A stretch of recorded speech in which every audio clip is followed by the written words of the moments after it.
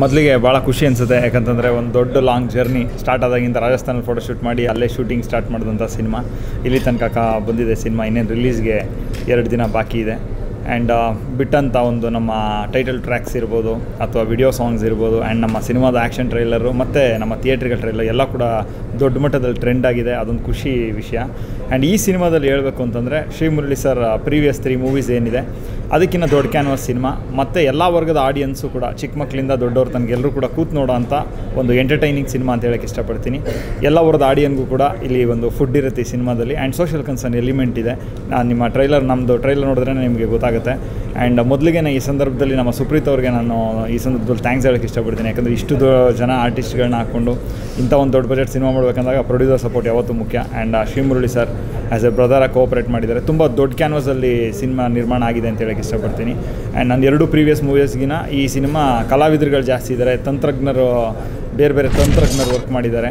ತುಂಬ ದೊಡ್ಡ budget cinema ಮತ್ತು ಈ ಒಂದು ನನಗೆ especially as a director task ಏನಂತಂದರೆ ನಮ್ಮ ಸಾಯಿ ಕುಮಾರ್ ಸರ್ ರವಿಶಂಕರ್ ಸರ್ ಮತ್ತು ನಮ್ಮ ಅಯ್ಯಪ್ಪ ಸರ್ ಮೂರು ಜನ ಬ್ರದರ್ಸ್ ಒಟ್ಟಿಗೆ ಆ್ಯಕ್ಟ್ ಮಾಡಿರೋಂಥ ಸಿನಿಮಾ ಮೋರ್ ದೆನ್ ಹದಿನೇಳು ನೆಗೆಟಿವ್ ಶೇಡ್ಸ್ ಇರೋಂಥ ಪಾತ್ರಗಳನ್ನ ಈ ಒಂದು ಸ್ಕ್ರೀನ್ ಪ್ಲೇನಲ್ಲಿ ಕ್ರಿಯೇಟ್ ಮಾಡಿದಾಗಲೇ ಯಾರ್ಯಾರಿಗೆ ಇದ್ದರೆ ಚೆನ್ನಾಗಿರುತ್ತೆ ಅಂದ್ಕೊಂಡೆ ನಾನು ಯಾ, ಏನು ಅಂದ್ಕೊಂಡೆ ಅದಕ್ಕಿಂತ ದೊಡ್ಡ ಮಟ್ಟದಲ್ಲಿ ಸಿನಿಮಾ ಔಟ್ಪುಟ್ ಬಂದಿದೆ.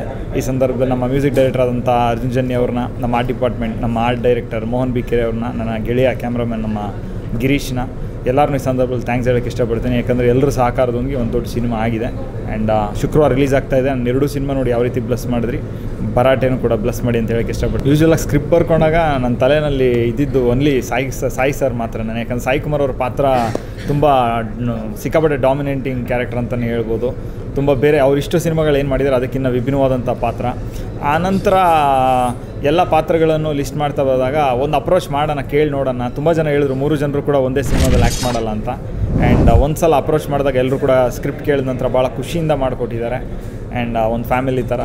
ಆ್ಯಂಡ್ ಎಲ್ರಿಗೂ ಈ ಥ್ಯಾಂಕ್ಸ್ ಇಷ್ಟ ಅಲ್ಲ, ನನಗೆ ಯಾವತ್ತು ನನ್ನ ಸಿನಿಮಾ ರಿಲೀಸ್ ತನಕ ಅಷ್ಟೇ ನಂಗೆ ಟೆನ್ಷನ್ ಯಾಕಂದ್ರೆ ನಾನು ಬಿಲೀವ್ ಮಾಡೋದೇನೆಂದರೆ ನಾವು ಯಾವುದೇ ಸಿನಿಮಾ ಮಾಡಿದ್ರು ಕೂಡ ಸಿನಿಮಾ ರಿಲೀಸ್ ತನಕ ಅದು ನಮ್ಮ ಸಿನಿಮಾ ಆಗಿರುತ್ತೆ. ರಿಲೀಸ್ ಆದಮೇಲೆ ಅದು ಜನಗಳ ಸಿನಿಮಾ. ಸೊ ಟೆನ್ಷನ್ ಅಂತೂ ನನಗೆ ಯಾವತ್ತೂ ರಿಲೀಸ್ ಡೇನೂ ಆಗಿಲ್ಲ ರಿಲೀಸ್ ಆದಮೇಲೂ ಆಗಿಲ್ಲ. ರಿಲೀಸ್ ತನಕನೂ ಟೆನ್ಷನ್ ಇರುತ್ತೆ ಯಾಕಂದ್ರೆ ನಾನು ಅಂದ್ಕೊಂಡು ಔಟ್ಪುಟ್ ಕೊಡೋಕ್ಕೆ ಅದು, ನನಗೆ ಅದೇ, ಅದು ಆ ವಿಷಯದಲ್ಲಿ ನಾನು ಬ್ಲೆಸ್ಡ್ ಅನಿಸುತ್ತೆ. ಯಾಕಂತಂದರೆ ನನ್ನ ಎರಡು ಸಿನಿಮಾಗಳು ಕೂಡ ಬಿಫೋರ್ ರಿಲೀಸೇ ಸೇ ಸೇಲ್ ಆಗಿದ್ದಂಥ ಸಿನಿಮಾಗಳು. ಮೂರನೇದು ಕೂಡ ದೊಡ್ಡ ಮಟ್ಟದ ಒಂದು ಏರಿಯಾಗಳೆಲ್ಲ ಮಾತುಕತೆಗಳು ದೊಡ್ಡದಾಗಿದೆ ಆ್ಯಂಡ್ ಎವ್ರಿಬಡಿ ಎಲ್ಲರೂ ಒಂದು ಪಾಸಿಟಿವ್ ಫೀಲ್ ಇದೆ. ಆ್ಯಂಡ್ ನಾನು ಯೂಶ್ವಲ್ ಆಗಿ ಬಿಲೀವ್ ಮಾಡಿದೆ ನಾನು ಸಿನಿಮಾ ತಕ್ಷಣ ನಾನು ಗೆಳೆಯರ ಬಳಗ ಎಲ್ಲರಿಗೂ ಸಿನಿಮಾ ತೋರಿಸ್ತೀನಿ. ಎಲ್ಲರೂ ಕೂಡ ಒಂದು ಪಾಸಿಟಿವ್ ಖುಷಿಯಾಗಿದ್ದಾರೆ. ಆ್ಯಂಡ್ ನಿರ್ದೇಶಕನ ಯಾವಾಗಲೂ ಕೂಡ ಸಿನಿಮಾ ಮಾಡಿದಾಗ ಒಂದು ಚಿಕ್ಕ ಭಯ ಅನ್ನೋದಿರುತ್ತೆ. ಆದರೆ ನನಗೆ ಒಂದು ತೃಪ್ತಿ ಇದೆ. ಒಂದು ಒಳ್ಳೆ ಸಿನಿಮಾ ಮಾಡಿದ್ದೀನಿ ಅಂತ. ಒಂದು ಕಾನ್ಫಿಡೆನ್ಸ್ ಇದೆ. ಖಂಡಿತ ಇದು ನಮ್ಮ ಜನಗಳು ತಗೋತಾರೆ. ಒಳ್ಳೆ ಸಿನಿಮಾನ ಯಾವತ್ತೂ ಕನ್ನಡಿಗರು ಕೈ ಬಿಟ್ಟಿಲ್ಲ. ಇದು ಒಳ್ಳೆ ಸಿನಿಮಾಗಳ ಲಿಸ್ಟಲ್ಲಿ ಈ ಸಿನಿಮಾ ಕೂಡ ಸೇರ್ಕೊಳ್ತೇನೋ ಅಂತ ಒಂದು ಕಾನ್ಫಿಡೆನ್ಸ್ ಇದೆ ಅಂತ ಹೇಳೋಕ್ಕೆ ಇಷ್ಟಪಡ್ತೀನಿ.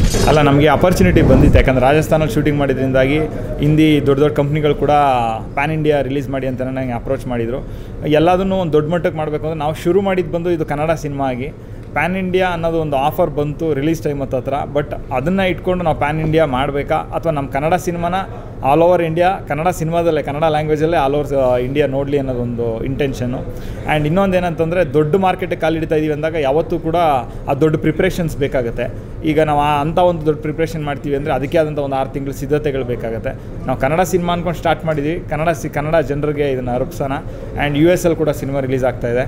ಆ್ಯಂಡ್ ಎಲ್ಲರೂ, ಎಲ್ಲ ಲ್ಯಾಂಗ್ವೇಜ್ ಜನಗಳು ಕೂಡ ನಮ್ಮ ಕನ್ನಡ ಸಿನಿಮಾ ನೋಡಲಿ ಅನ್ನೋದೊಂದು ಇನ್ನೊಂದು ಇಂಟೆನ್ಷನ್ನು